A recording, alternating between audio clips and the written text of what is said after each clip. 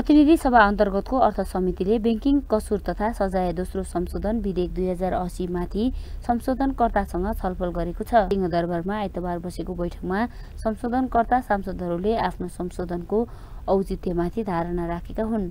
So क्रममा संशोधनकर्ता सांसद Sobhita गौतमले check अनादर सम्बन्धी चाप वित्तीय संस्था अदालतमा समेत रहेकाले सान्दर्भिक रूपमा विधेयक आएको बताउनुभयो।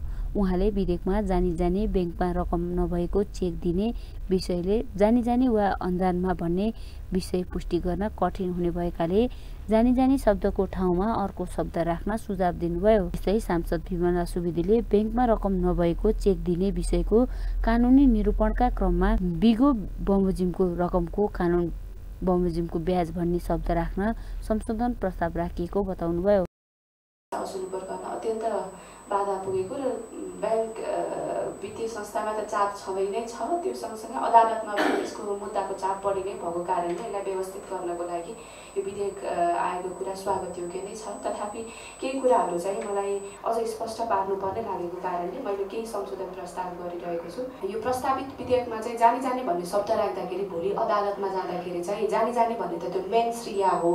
अदालतमा कुनै पनि मुद्दा दर्ता भइसकेपछि कोर्टले हेर्ने भनेको त्यो अपराध हो कि होइन भन्ने कोर्टबाट हेर्दा श्रिया हेर्नुपर्छ। अनि त्यो कार्य भएको हो कि होइन एक्ट सिरियस भएको होइन एक्ट सिरियस हेर्छ कन्फ्रेन्स हेर्छ।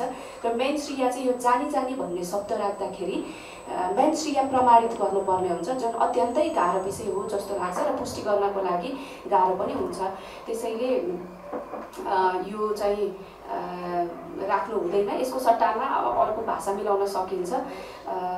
र अर्को कुरा चाहिँ के हो भनेदेखि जानी जानी भन्ने शब्द चाहिँ राखियो। र यो यो चाहिँ स्ट्रिक्ट लाइबिलिटी हो भन्ने कुरा पनि राख्नुपर्ने हो पर्छ। जानी जानी राख्दै गर्दाखेरि चाहिँ यहाँ अलिकति समस्या हुने हुँदाले मैले के प्रस्ताव गर्न चाहन्छु भने कसैले पनि आफ्नो बैङ्क खातामा रकम मौजदात नभएको वा मौजदात भए पनि भुक्तानीको लागि पर्याप्त रकम नभएको अवस्थामा मौजदात रकमभन्दा बढी रौजदात मौजदात रकमभन्दा माथि चेक जारी गरिदिन हुँदैन भनेर यसरी जानी जानी भन्ने शब्द हटाउँदाखेरि पर्याप्त हुन्छ। जस्तो मलाई लाग्छ। समिति सभापति सन्तोष चालिसेले बिसजना संशोधनकर्ता मध्ये जब धारणा राख्न बाँकी रहेको जानकारी दिनुभयो। सबैले धारणा राखेपछि दफावार छलफल गरी विधेयकलाई छिटो पारित गर्ने उहाँले बताउनुभयो। दफावार छलफलमा लाने गरी अन्तिम अन्तिमतिर हामी चाहिँ ब्याङ्किङ कसो सम्बन्धी विधेयकको विषयमा छलफलमा छौँ र बिसजना मान्यज्यूहरूले संशोधन हाल्नु भएको थियो।